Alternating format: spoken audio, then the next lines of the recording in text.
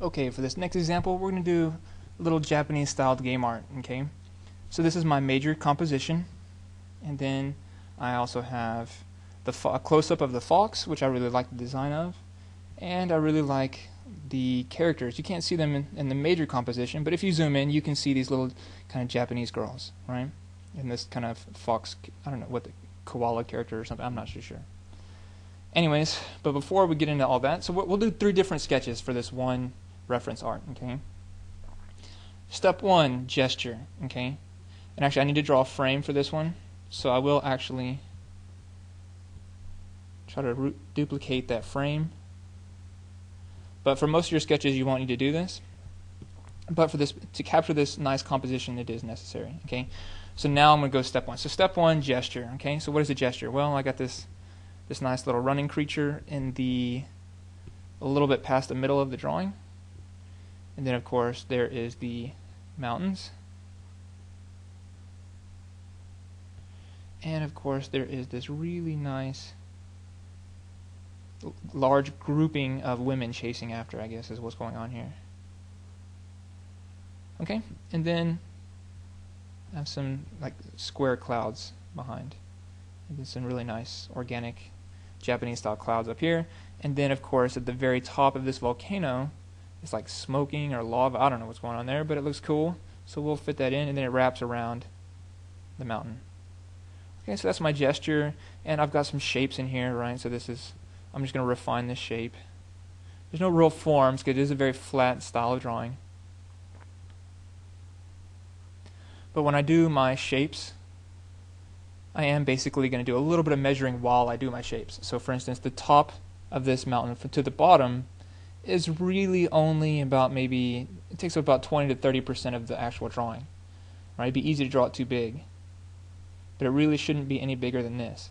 But it overlaps with the speed that's coming off the grass. So there's basically grass coming off of this dog. So the dog is here, and again, measuring right. How big? Right, you need to fit this fox into the size of something that's not even it's just very small, right? So I think I got it pretty accurate here. But if you need to make it smaller, make it smaller while you're in the gesture stage. Okay? So what I'm doing is I'm just moving through all three stages, right? Gesture, and then measure my gesture. Do I need to make that gesture a little smaller, a little bigger, right? Okay?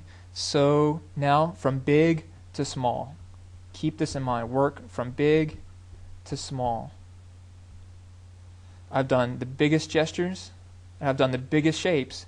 Now I'm going to go inside this shape, and I'm going to start back at step, step one, right? So I'm going to do a gesture for the legs, a gesture for the back legs. I'm going to do a form or a shape for the body. And then, of course, the, the end of the body comes to an arrow, which is his head. Right? And then he's got one leg and then one leg underneath. And then, of course, I need to draw the tail, which leads right into the mountain.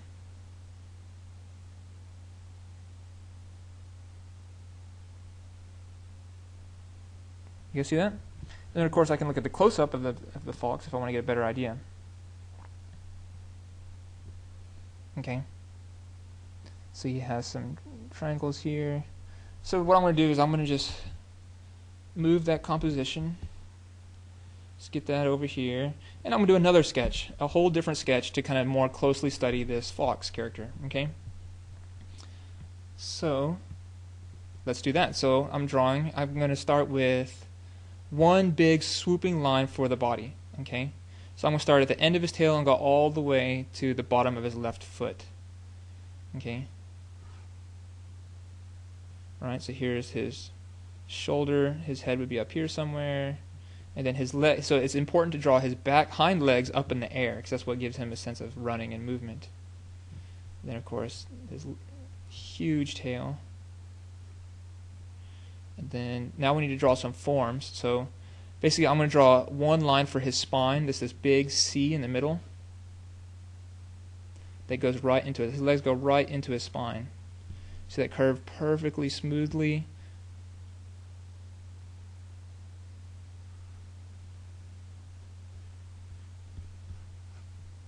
Okay, then his other leg.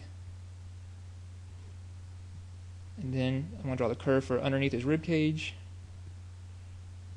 And then he's got basically this kind of big triangle for so you have his knee from his knee to his butt to the middle of the spine. From his knee to his butt to the middle of the spine makes this one big kind of triangle, right? Or spearhead. I would call it a like a spearhead, I guess. It's more like this. Okay? And then his ankles come out from behind. So his basically his his hind leg is way too big. If I measure, I'm drawing way too big here, so I need to make that smaller. Should be more like this. Because again, his knee is about even with his rib cage. And then his ankles come down a little bit. So that tail is going to end up being much bigger than I originally intended. So his tail would come up to right here. Okay, so my first gesture line is totally wrong, but that's okay. Right? And then basically his foot comes down like this.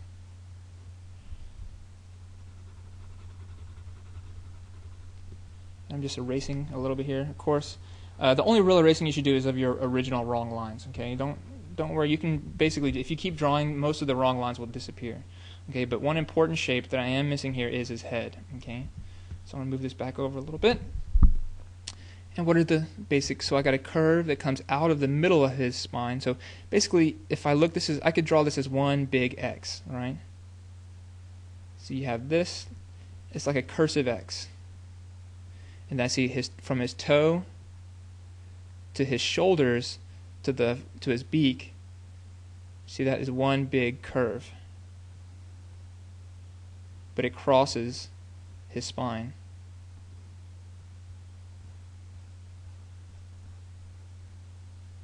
And it should be a little lower than his spine, so that those top lines are a little too high.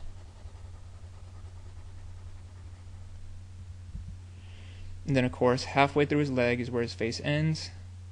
It comes to a point. So it's like one big dull triangle, and then one sharper triangle coming out of that. Like I said, it's kind of like a beak.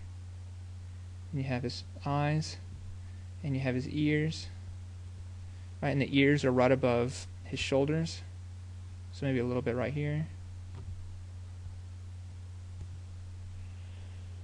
And then cool thing about this guy is there's really not much detail on his legs, right? It's just this one long triangle. Same thing with this bottom one. So I'm adding forms to those gesture lines. And then, of course, we want to draw this really cool wing coming out from underneath his armpit. So we're going to draw it as one big shape. And then divide that up into three smaller shapes. Big to small, remember? Big to small.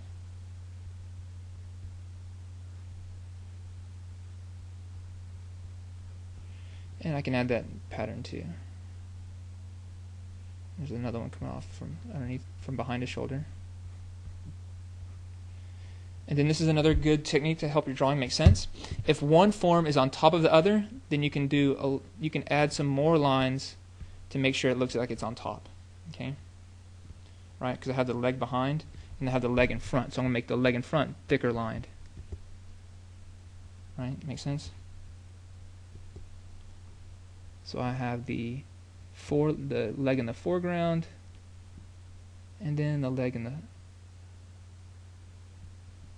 background.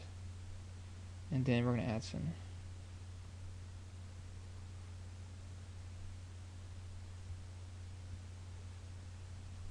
Okay? Drawing makes sense, right? You guys know what it looks like. I mean, you guys, if you guys see this without the drawing, you'll know what it is, right? You'd recognize it. Let's put it to the test. Okay? Does it look like a fox? Well, for the most part, yes. Right? And the lines that are correct, you can kind of darken those in so that the lines that are wrong will kind of disappear. And keep in mind, his face is really small, so don't draw it bigger than it should be. Okay, so that's how you would do that. And of course, the last but not least, I guess I'll do a real quick uh, version of the girls. So I really like, this is probably my favorite part of the drawing, and I'm just going to do a couple of them. So let's see here. Okay. They're kind of hard to see. And let's see. They're very simple. I'm basically drawing this one right here. I really like the way this Japanese guy. I, am assuming the artist is Japanese, but the style is Japanese, right? I really like the Japanese style. It's, it's kind of hard to capture, but I'm going to try. That's the point of quick sketch. Try to capture it. Her eyes is nothing more than a little dot. And then her her ear.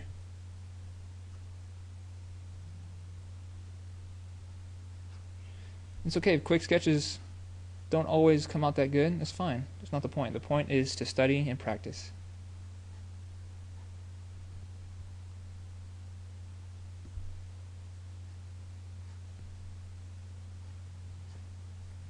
So this is the sleeve. Here's the front of her kimono. Right, no nose, no mouth. Just very simple. So, right, I could move her forward a little bit. I could put this kind of uncle-looking character behind him, behind her. Oh, she has some kind of thing around her neck. Do you see that? Kind of like a clown. I'm not gonna draw that. Anyway, so you get this this uncle guy behind him, behind her. Alright, so I'm going to do one big line for him. Then I'm going to put his head on top of that line. Then I'm going to draw his arm, which is going backwards, and his chest and stomach, which are going forward. His shoulders. This big form that goes across his shoulder, like this. And then his shoulder coming out from underneath it. And of course his hair. This is the side of his beard. Here's his eye. Then he's got this huge eyebrow coming across. He's got this kind of big nose. And then no mouth, just a big form for his beard. Then it comes, his ear comes out of that.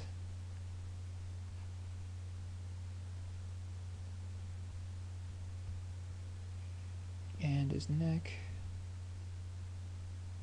And then we'll go ahead and connect. There's a gesture line that's kind of confusing the drawing, right? So I'm going to erase it a little bit.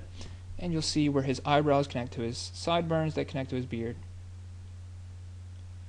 And of course, he's a little bit balding, but not too bad. Then he has some hair kind of flying backwards because this drawing has a lot of movement in it.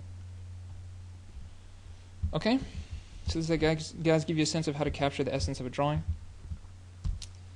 Okay, so do that a thousand more times and you'll be really good at drawing. Okay, and that concludes this uh, series. So now you know how to quick sketch, right? So let's go one more time over the three steps. One, gesture. Two, forms or shapes. And last, and least, because when you're quick sketching, we don't worry too much, but we do want to measure to some degree so that our drawing doesn't get too out of hand, okay? And the more you draw, the more you'll start to do all three of these on top of each other, right? You'll do a gesture, and then you'll measure the gesture, and then you'll add the form on it, right? But just get used to repeating these, and of course, big to small. All right, that concludes this lesson.